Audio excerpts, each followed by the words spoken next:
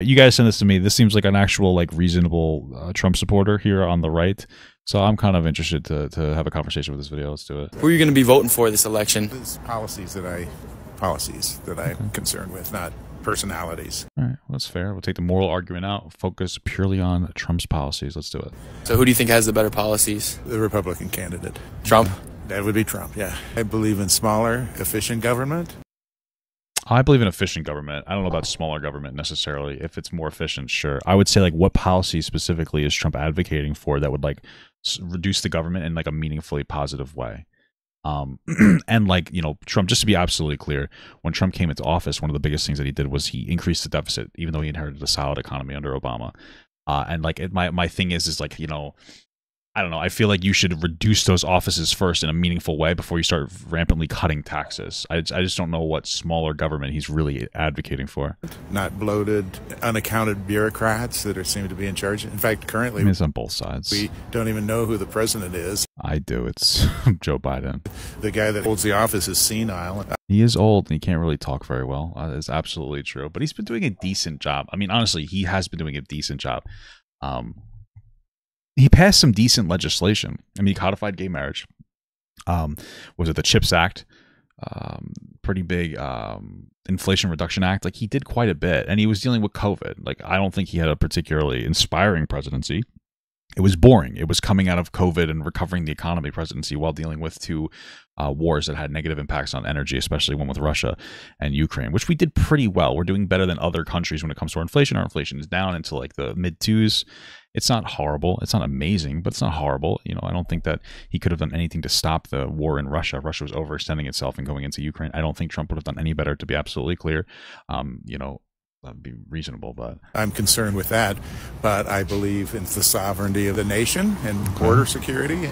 I do too. I just feel like sometimes we don't know what the problem at the border is, and the problem at the border is the asylum seeking process and like the way that it happens. Right? Just to be clear, Trump down, shot down a border bill that would have helped that. He uh, pressured Republicans who brought the bill forward um, to no longer support it, and they listened to him. So it got shot down at the end of his presidency because he wanted to run on the border again. It was a good bill. Uh, it put more lawyers, it put more judges. Uh, it would have expedited the process of asylum seeking, which is the main problem. I believe we should be doing asylum seeking processes, especially as a country that polices the entire world.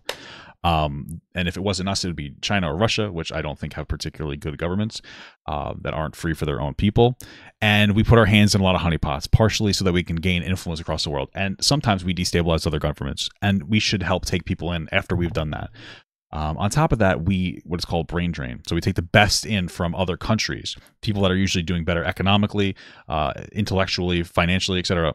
and that hurts the uh, the countries that that are still there because like those people are, are kind of left to their own devices after the most educated people. People basically go, they they grow up, they get money and education. A lot of times there's nepotism involved, and then they move to America, and it's like, okay, well, what's left in those countries? So like, I don't see asylum seeking as a negative, but sometimes the processes are not great and they're slow. It takes like a couple years.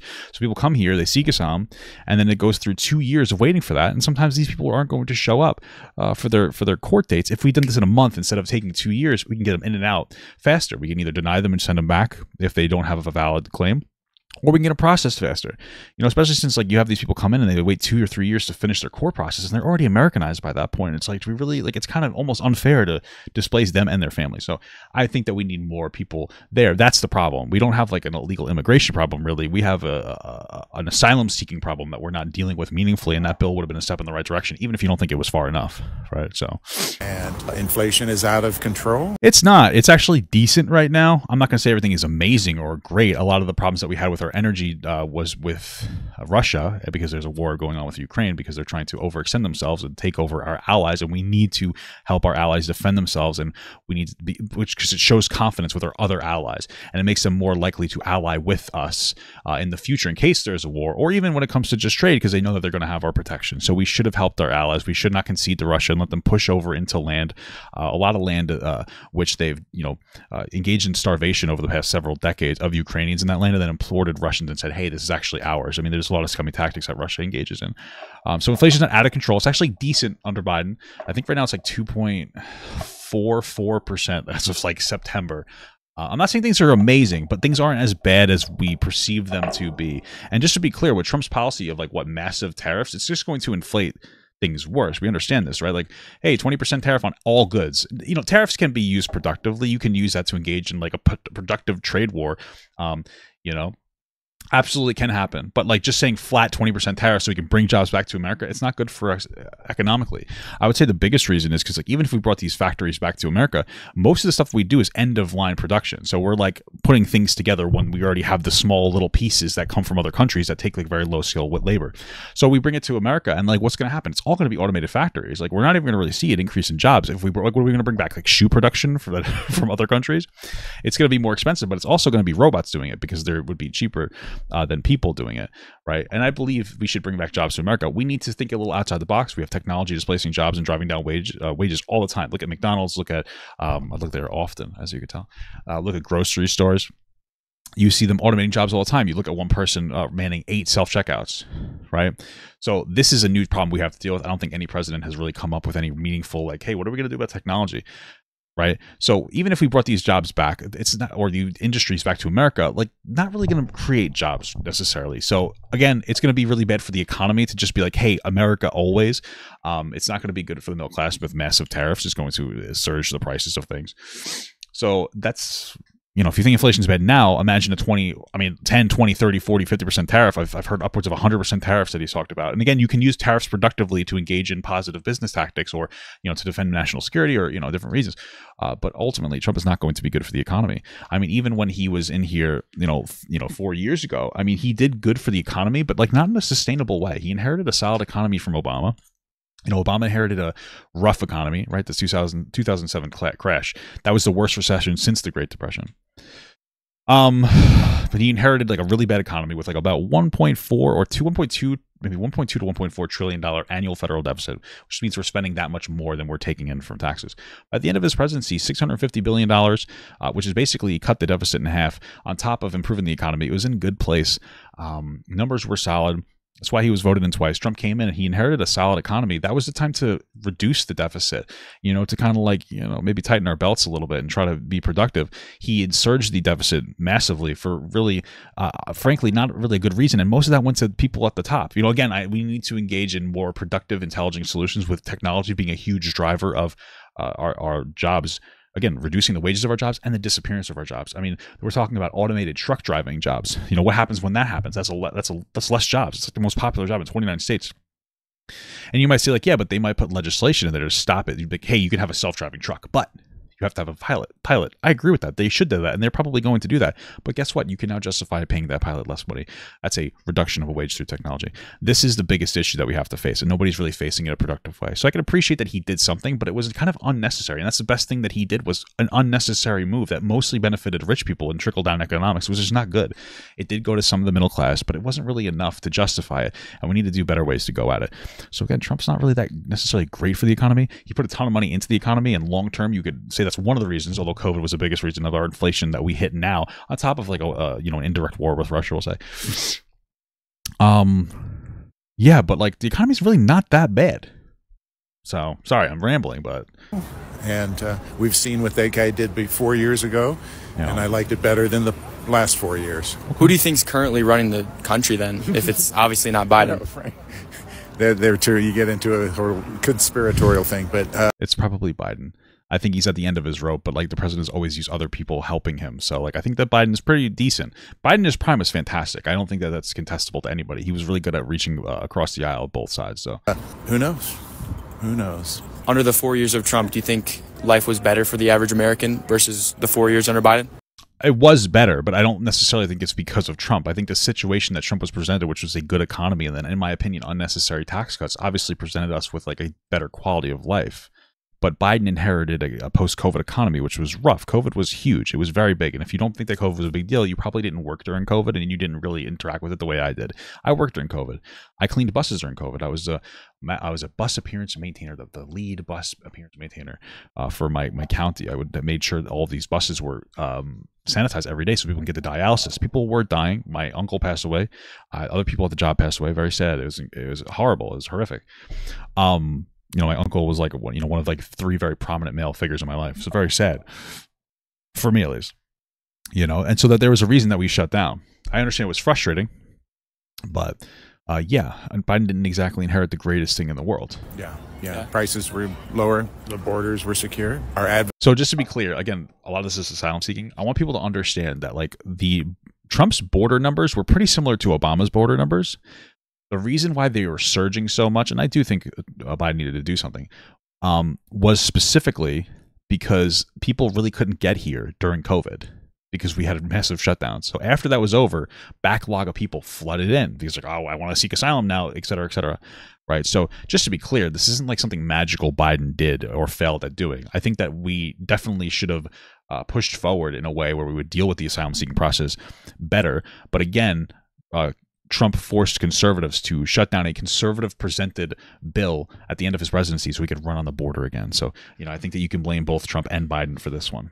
Adversaries were quieted there weren't any aggressions in, uh, by Putin under or the Middle East during Trump's administration. So to be clear, I just want people to understand: we did this whole Russian collusion nonsense argument, right? Trump didn't collude with Russia, but the Mueller investigation did yield a lot of positives, and part of that was well, maybe not positives, but part of that was indictments for people around Trump. But more than that, we found out objectively and factually that Russia without the well, not because of Trump, but Russia, or not by working with Trump, Russia wanted Trump to be president.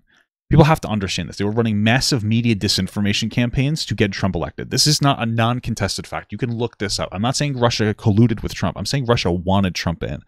You telling me that somehow um, Russia was wanted Trump in there, but they like still respected him. I just don't. I don't really believe that. You know, we saw Trump. You know, basically. Um, be too charitable towards Kim Jong Un, and that went nowhere. He, they still continued to test missiles. Nothing really happened. I don't think that he would have been strong with Russia at all when it comes to Israel and Palestine, you can make a, a, really solid argument that there were peace talks that were going on that were basically between uh, Israel and Palestine and other Middle Eastern countries. But Palestine wasn't asked to the table while there were restrictions placed on Palestine and none on Israel or less on Israel. So, just fundamentally, um, not bringing them to the table exacerbated tensions and was probably a factor in why uh, October 7th happened. It's not justifiable, but it's like, hey, you think that that was a factor? Maybe you should have engaged more intelligently in peace talks. So, like, no new wars. I understand that, but it's not like that simple. You could argue that there was a Trump was a part of the problem. You know, uh, pissing off Palestine. Uh, you know, declaring uh, Jerusalem, Israel, uh, or putting the embassy in, in, in Jerusalem and exacerbating tensions with with Palestine. Absolutely. let's just say people took him seriously that he wasn't uh, i don't think so. I don't think anybody took trump seriously. to be trifled with and so I don't things think are quieter. true. and why do you think so many people support kamala? A- i think honestly because we have to get into the moral argument for me it's the insurrection of january 6th like that was what really gets me um, once that happened, I was anti Trump. It could have been anybody. It could have been any conservative. It could have been anybody else. But if you look at the details, he invited people for his speech on January 6th. He spoke in there, used very uh, incendiary, incendiary language. Some of it was like, hey, be peaceful. But when you bring a bunch of people there after you've been going on a conspiracy theory for months about how um, you were, the election was stolen from you, and you're allowed to think that, you're allowed to contest that in court. There was no courts that found any level of credibility to that. But when you say that, and then you say in your speech, you have to fight like hell, like hell, or the country's over. That's effectively what he said. That's going to rile people up. They attacked the Capitol. They they attacked police officers. They stole riot shields. They broke into windows. They broke into buildings, uh, or into the Capitol building. They weren't being led by police officers. It was so overwhelming that some cops tried to move them away from Congress people, but they weren't leading them in. They were overwhelmed. And the whole time, instead of Trump stopping it or saying something on Twitter that's like, "Hey guys, stop," he waited what three hours before saying anything. Um, he could have called like the National Guard could have done a lot. He didn't. He used that as an opportunity to try to pressure Mike Pence into taking in like faulty electors to vote against the will of the people in the states, um, so to get him into the presidency. That's anti-American. That's all it took for me. His policies are also bad. There's really nothing redeemable about Trump, but that's a huge deal for people. That's like a biggest reason why I'm voting Kamala. So a visceral dislike of that guy. I don't care so much. Believe me, these other politicians are no better than he in a lot of ways. It's like no, every politician is better than Trump for the most part. I'm not saying they're good, but comparatively, I mean, it's like you want to you want to drink a little piss or eat a little shit. I'd rather drink a little piss. A guy that's roofing my house. I don't care if he's a butthole and that he's crude and rude and so forth, but if he does a stellar job, that's all I care about. Well, he never did a stellar job, so. But on the other hand, if I get some incompetent boob that's a nice guy that I'd like to have a beer with, That's not the guy who should be running our yeah. country. Yeah. I will say, I think that a lot of people are susceptible to Trump's um, no nonsense attitude, even if he's an ineffective president, and it's working. I think people see Trump and go, "Wow, he's really good," because they like uh, they're they maybe they're tired of some of the false decorum, right? The sh- the shit shoveling down your throat from like traditional politicians who just who sound nice but don't really deliver on promises. Trump doesn't sound nice; he still doesn't deliver on promises. I mean, he ran on a lot of things, like making healthcare better, which he didn't do at all. uh, you know, but um, I think that, and I said this a couple times already, but I think that we need a left left leaning Democratic president that's not a pussy. We need like somebody who's like a little bit of a foul mouth, like Long Island guy who's like kind of no nonsense, kind of says it how it is, um, and doesn't like you know fart around and, and pretend to be a decent person. Uh, and maybe it's just a little bit less cavalier, and that would probably be uh, something that maybe people could resonate with more. Somebody a little bit more normal, you know, or a little bit more human.